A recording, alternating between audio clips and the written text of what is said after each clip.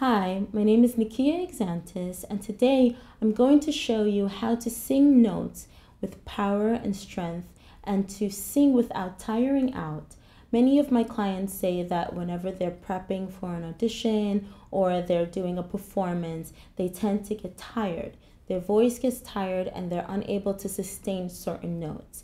And it's usually an issue with either posture diaphragm, which involves the breathing, and also just relaxing the body. So I'm going to show you a few techniques that you can do to make sure that you're properly using your body to accomplish your mission. So the first things first, you want to make sure that you're standing correctly, proper posture. So you want to make sure that both feet are slightly apart, not too far apart, but slightly, and slightly bent knees. You want to have control over your body. So you want to make sure that you're in a firm position, but it's not like a militant type position. So you want to relax, feet apart slightly, slightly bent knees. The next big thing is here. You want to make sure that the air comes through okay, where you're able to project. So you want to make sure that your back or your shoulders are back and down. Again, back and down. You never want to have this kind of stance. Back and down and relax you can actually move your body a bit so that you can feel more relaxed and feel that you're getting ready to use it. Okay, so the next thing is the diaphragm, a very important aspect of singing. You need to sing from your diaphragm in order to control your breathing. So I want you to try this exercise. First of all, you're going to put your hand on your stomach or your diaphragm area, right where the belly button is.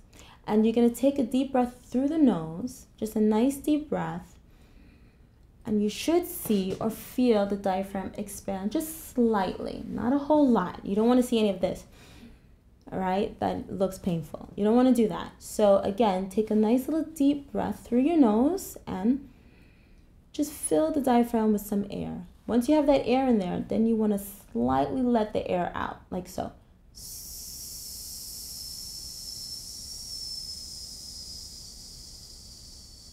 And you want to do that for as long as you can.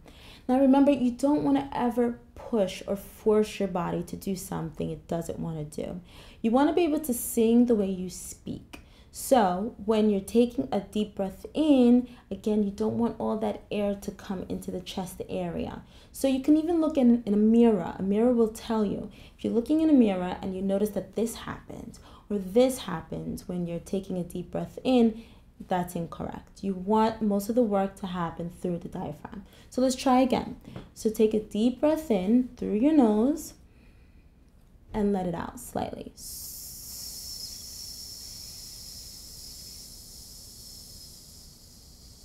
That's it. And you don't want to push either. When the air is coming out, let just think of a, a balloon. You're letting the air out just gradually and it's just deflating. Don't want to push or overextend your body or do anything extra. So the next thing you want to do now is always try with a note. So we're going to try that now to use notes and apply the technique that we just did. So we're going to use the note oo or the syllable oo.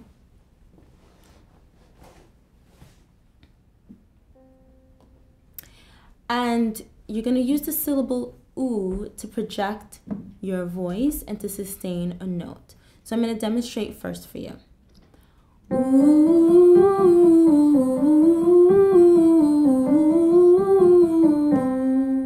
So if you notice, I didn't take a huge breath, but I was able to sustain that note for quite some time, going up and down, up and down. So let's try that together.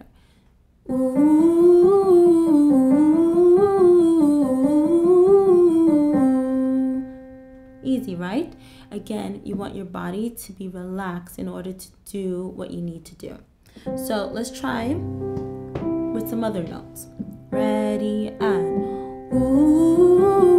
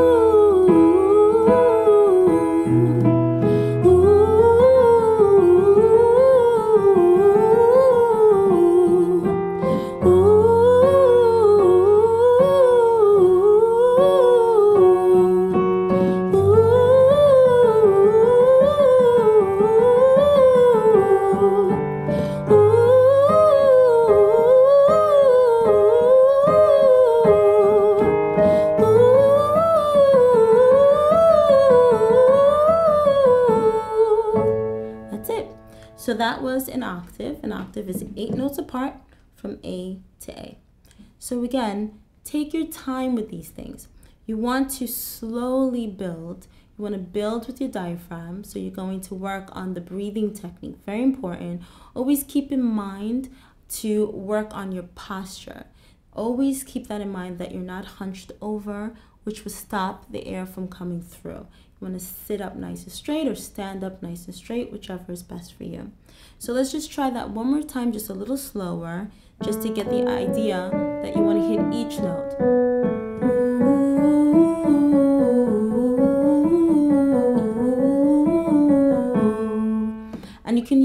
Metronome as well to help you keep a constant tempo.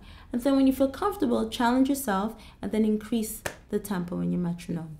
So I want to demonstrate to you that if you apply all these techniques, if you work on your posture, and you also work on your breathing techniques and you do these exercises every day, you just want to do a little bit every day, then you'll be able to have control over the notes. So let me demonstrate. I'm just using the words, you are my star.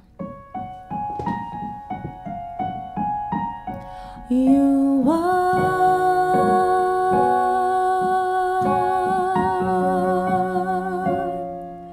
my star.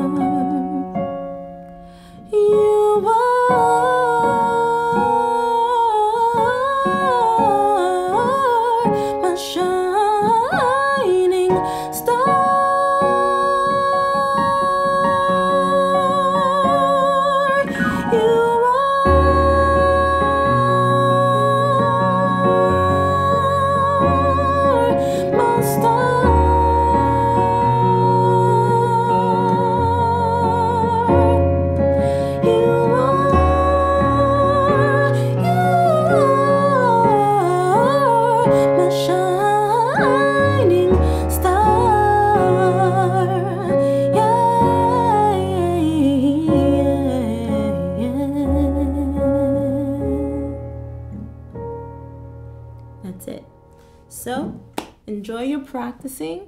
Remember, you want to work on your posture.